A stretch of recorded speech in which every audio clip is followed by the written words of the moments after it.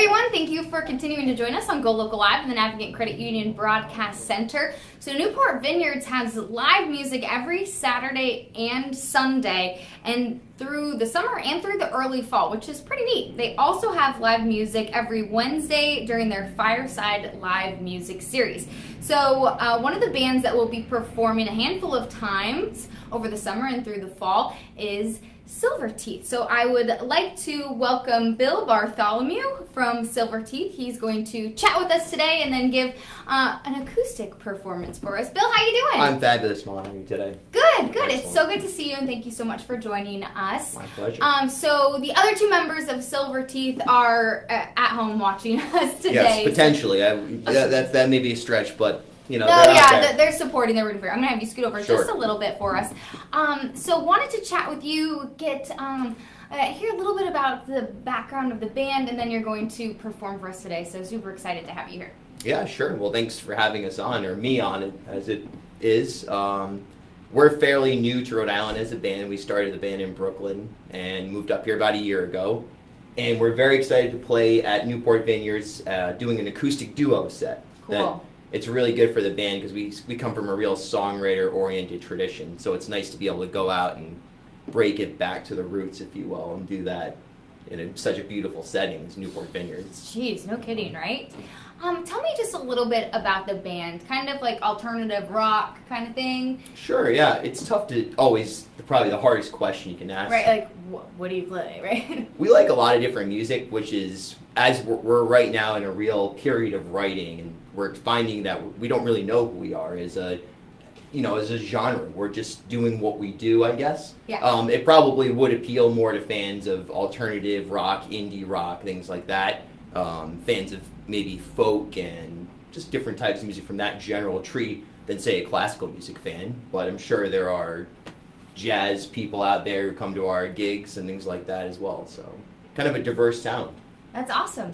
So tell me just a little bit about your background. You're from Rhode Island, uh, and tell me how you guys all met. Well, I moved to Brooklyn from basically from Providence. I was involved with a band called Commas uh, that was based in Providence and moved to Brooklyn in 2006. And that band dissolved a little less than a year into the transition. It happens. Um, it happens. It does. But uh, I stuck it out for a while longer, kind of doing my own thing as a solo artist, and slowly but surely uh, started to feel the itch to do another band. And I met Gabriella Hasse uh, in 2010. She moved into the loft that I was living in, which was awesome, kind of convenient for me. This person came in. At first, we didn't like each other. We kind of, com- you know, sort of competitive in a way. Um, eventually, we realized that we could pull our resources together to go busk on the trains to make money. So that's how the band actually started. Was her and I going out and just saying, "Hey, can we pool our material resources and you know non-earthly resources to make something happen here?" And slowly but surely, from there, we started writing songs and doing original music together. That's amazing. And then, where did you find? Where did you guys encounter Tom? Where did uh, you jump in the mix? We started to come up to Newport quite a bit. I'd say more than any other time would be about 2012, 13, 14. We started to come back to, I started come back to Rhode Island, my homeland, and take Gabrielle up here and say, hey, check this place out. It's really beautiful and things like that. But we never really went to Newport. We would just sort of be hanging out as I did when I grew up here in South County, uh, and of course in Providence here. And I met uh, this guy, David Passafume.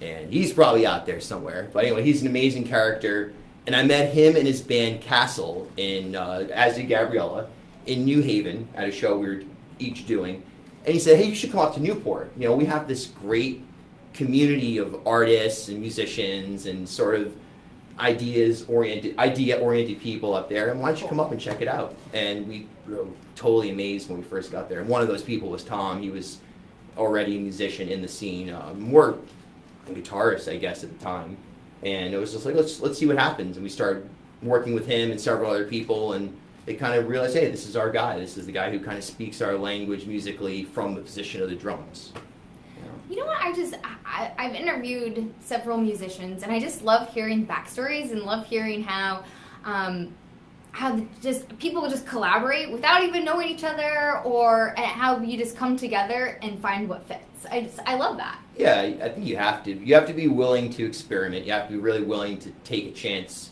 on utter failure. You know, as with anything. I mean, it's really that's that's a general statement, but yeah, in music it's wild because you really can't predict what you know Yeah. what a person has to say musically. You know, you can't really tell by someone's abilities. You know, if they're actually going to express in a way that kind of works with what you're thinking or what you're trying to say.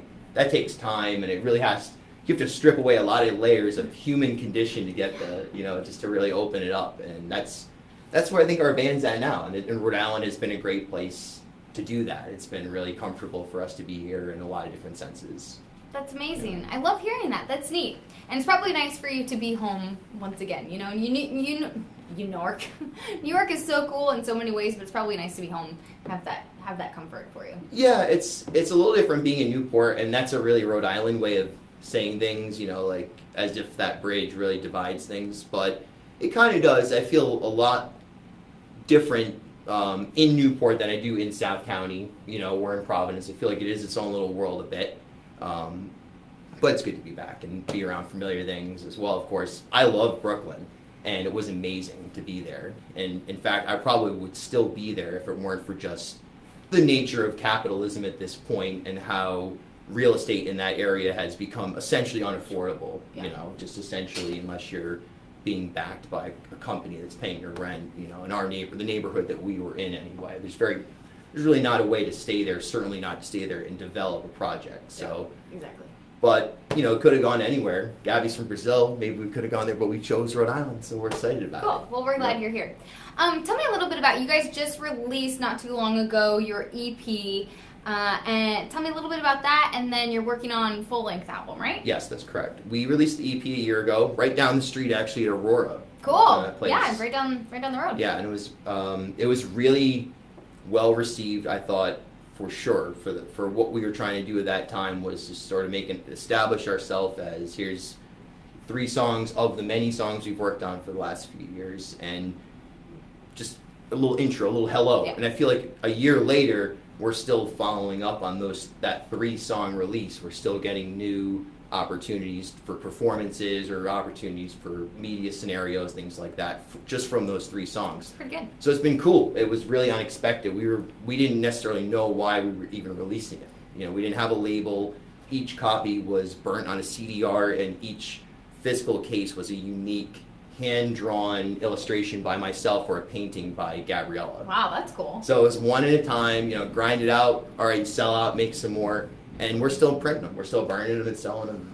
You know, and that's that was really cool. Like have just that natural kind of supply and demand Old school. Yeah, old school, exactly. It's so old Back school. pr- prior to the invention of the record industry, which is a modern thing that came out of like I don't know the 40s or 50s. That's a that's a just one area of time. I mean, before that, people still sold music as a commodity. So I think we're trying to go back to that with that EP. We're not the first people to do No. this, but of course, but we're we're having a lot of fun with that mentality of like we'll make the art, we'll put it out ourselves, and we'll let our audience enjoy that without really the pressures of you know trying to put out uh, constantly put out a new video and this that and the other. We're really focused on just making the best music we can, and when it's time, we'll put it out. I like that. Um, so with that follow up question, um, do you kind of have a timeline of when you think the, the full length album will be out? Or you're not really worried about the demand? Yeah, we're we're on it. Um, it's tough. It's a tough question to answer as well because there's our team of people. And I just said, oh, we're doing it ourselves in the sense that Yeah. nonetheless, we're still for the next release. We are trying to expand um, our audience and build our team as uh, as a part of that. So that'll impact, of course, how things come out. I would hope by this time next year that record's available in stores worldwide and online, and you're hearing it on the radio, Cool. Well, we the love radio that. is. Uh, so I'm going to step out of the way so we can actually hear what you sound like. Um, and again, so you, the Silverteeth is made up of a trio, um, but so you're kind of giving a solo acoustic performance. So I'm gonna have I'm gonna step out of the way, and because I'm not musically talented, and have you come on over and step in. What are you gonna sing for us? Uh, this first song I'm going to sing is called Skeleton Key, and I wrote it on my birthday last year, which is August 6th. Oh, happy almost Come birthday! That's the Leo zone.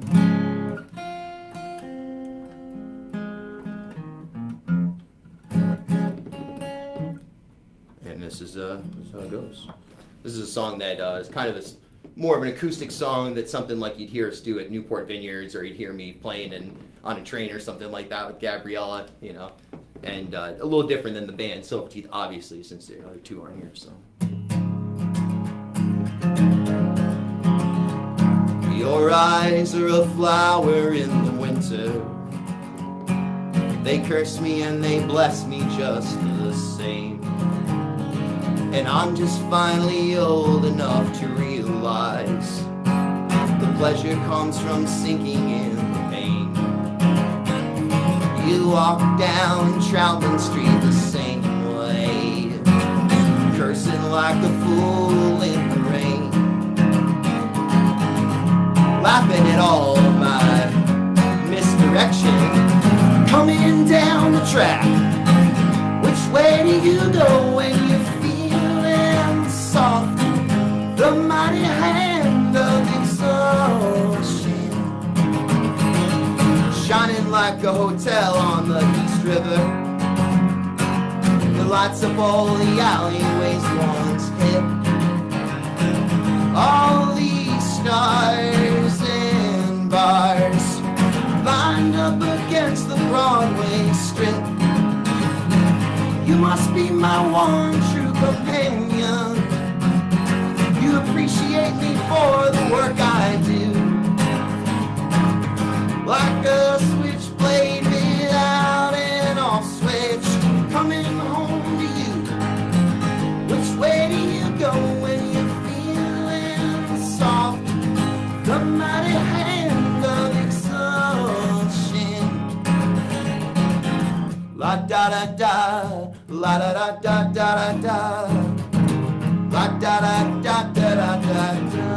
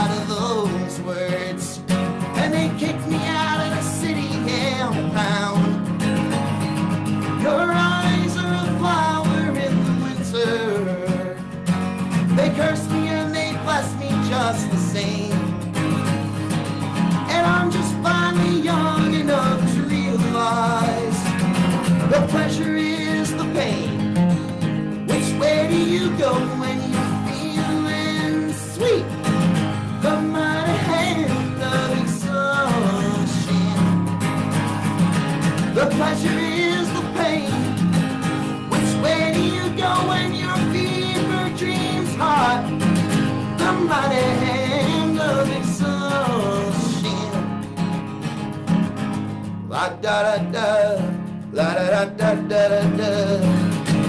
La da da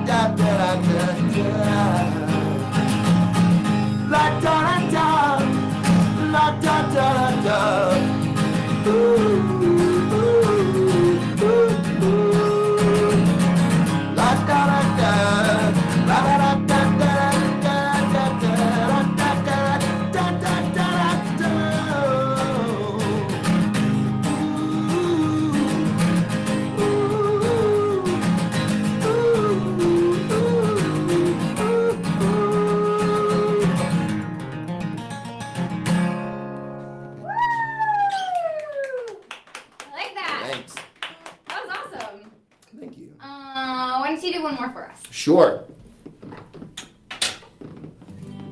This is a song that we uh, we got to record at the Columbus Theater. Familiar with that? Yeah, cool. Yeah, you guys are just Amazing here, uh, place. We just had a show there. June. Yep, end of June. It was a great experience. Definitely one of the most incredible venues in the United States for sure right now. No question about it. It's right down the street here. Everybody should go there and check out what they have to offer the community. It's incredible. But this song right here, we actually recorded at the Columbus like four years ago. So it was Oh, like our, amazing. our first Silverteeth's first moment, if you will, and coming up here to Rhode Island was doing this with uh, the guys from the Low Anthem produced it and uh, well engineered it. You know, whatever credit you want to sign them, they were there and we had a great time. They, you know, this was this is what happens. Uh, this song. What's it called? This is called Shoes. Shoes. Okay. Yep.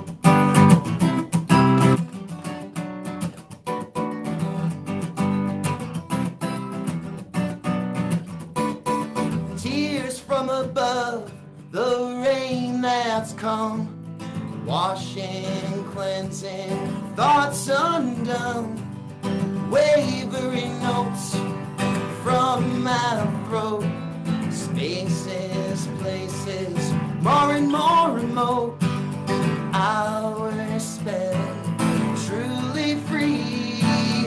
Oversized sweater and her shoes don't fit. A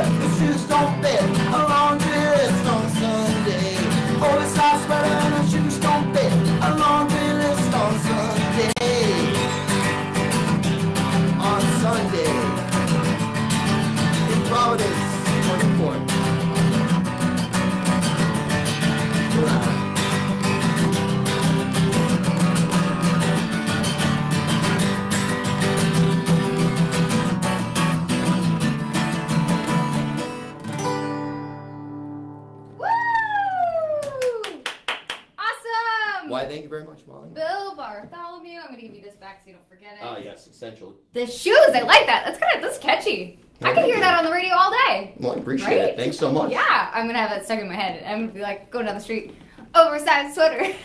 That's it. Mission accomplished. Yep, I love it. I love Appreciate it. Um, so thanks so much for joining us. Come back in before Sure, so we yep. can say uh, goodbye. So Silverteeth will be at Newport Vineyards um, coming up soon, July 15th. So that's tomorrow. That's tomorrow. Yeah, it is. Yeah, then you'll be there um, August 19th, Wednesday, August 30th, and Saturday, September 16th. So you'll be around. We'll be there. Yep. Other, you know, other places as well. But those vineyard shows are a really great place to come out and. A beautiful environment here, some acoustic music. We do a lot of Brazilian songs, old ah, originals, Cool. folk songs. It's a good time. So. Super fun. And the vineyard's amazing. You know, Yeah, have a glass of wine. Why not? Right? why not? Great. Well, Bill Bartholomew with Silverteeth, thank you so much for joining.